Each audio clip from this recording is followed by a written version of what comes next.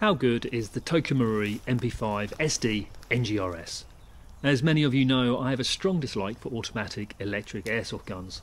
Sure, they are generally speaking a reliable platform that delivers solid performance, but for me, frankly, they sound like sewing machines. They have no drama about them when they're being used, they just have no feeling. It's not a visceral experience. It's why I tend to stick to bolt actions and gas blowback. So, what am I doing here with a Tokyo Marui AEG? Well, this is a little bit different. It's an NGRS, which stands for Next Gen Recoil System. What that means is this AEG promises recoil and a more engaging experience while also boasting Tokyo Marui's famous reliability and consistency, but more on that later. First of all, everyone is going to want to know how does it shoot, so let's get it chronoed. 253 254 and 253. A rather underwhelming 0.75 joules. By any standard, that's pretty low, so surely it's going to be lacking some range and accuracy. Uh, let's see, I'm standing 25 metres from a chest-sized target. First of all, all single shots.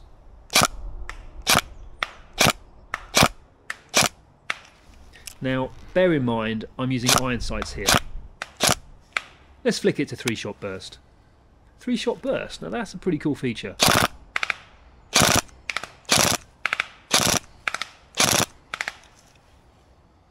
Let's test the full auto.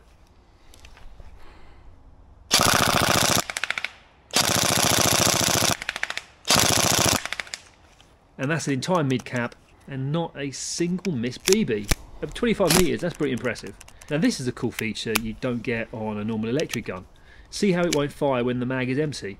I have to cock the charging handle to get it to shoot again, and if there are no BBs in the mag, it stops firing again. Very cool, and having reloaded, I need to pull that charging handle back again to get it working.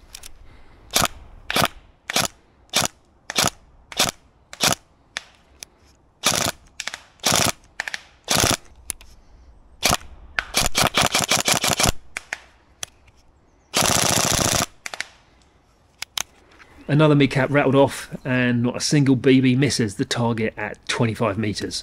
Impressive. I've got to talk about the build quality. It's really solid. There's no creaks or rattles. It's a really good piece of kit. It feels like you're handling quality. Okay, we're going to need to talk about the recoil on this. The NGRS system has a weighted piston that adds recoil to the gun when it's firing. Now, it's not a heavy recoil like on some gas blowback systems, but it is noticeable and importantly it adds to the experience of using this toy. Honestly this really is quite a lot of fun to use. And there we go, another empty mag. And while I reload, have you noticed the chest rig I'm wearing? I got hold of this after I sent one of my ghillie suits to an account on Instagram that I follow and enjoy. His account is called Night Fighter and when he got hold of my ghillie suit, he sent me this in return as kind of a present swap. Honestly, it's one of the coolest bits of kit I own. It's very lightweight while still holding 10 MP5 mags. It works with my Mac 10 mags as well, and he also has a version for M4 and other platforms. Very smart piece of kit. Right, let's test the long range capabilities of the MP5. Laser rangefinder tells me we are just over 50 metres away. It's going to be hard with the iron sights, but let's see what she can do.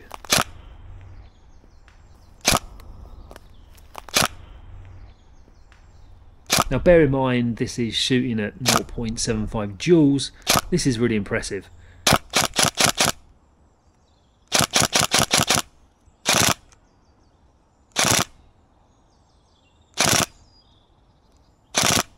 Look at the flight path of the BB. That's that's perfect. Now I need to say at this point that I have swapped out the barrel and hop rubber on this MP5. My friend Jaeger Precision installed a 9 ball barrel and rubber and it has made an improvement to the grouping and the flight path of the BB. It is noticeable but it's not a dramatic difference. It is a very very good gun out of the box and it is only slightly improved after these upgrades. Now in terms of maximum range this is this is just about it. When I look at the target after testing BBs they were they were landing about 4 or 5 meters behind it and I reckon with some lobbing I probably could be hitting 60 meters but I think realistically 50 meters is the maximum effective range. Now so far i've been using mid caps i'm not sure what the exact capacity is. I think it's around 75 or maybe 70 bb's now this may sound like a lot but it goes pretty fast if you're using this thing on full auto.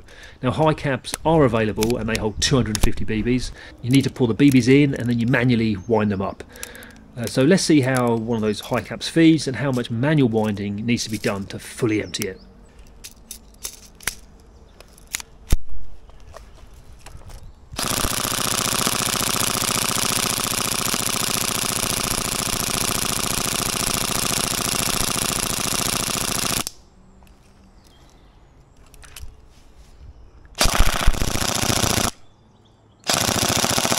At this point, it's stopped feeding. The clockwork mechanism has, has run out.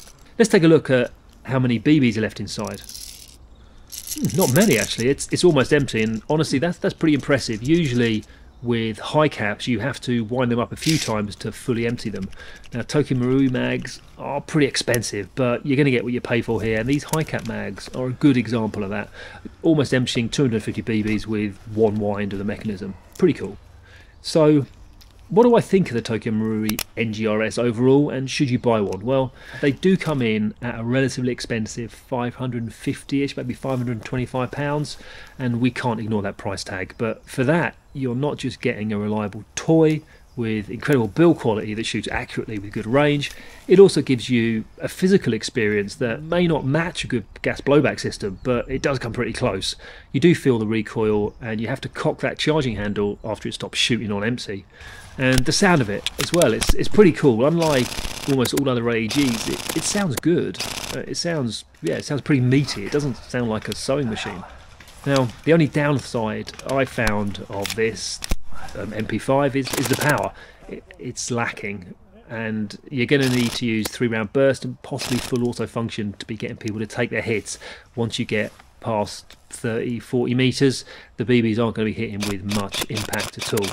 So yeah the tokyo marui mp5 ngrs do i recommend it 100% i do yes. And although it is a good couple hundred quid more expensive than mid-price standard aegs it is in my opinion worth pretty much every penny of that. It may not be the best at everything uh, it may not be the best at anything, but uh, you are getting something that is very good at everything, and you're going to be getting very reliable performance. You know, going back to the consistency, like there was like one, two FPS consistency on the shots. That's incredible for an AEG, um, and also importantly, it's a lot more fun to use than its competitors, and that's how I describe this gun: fun. And if you look past its relatively low power, it's hard to find anything negative to say about the Tokyo Marui MP5 SD NG RS.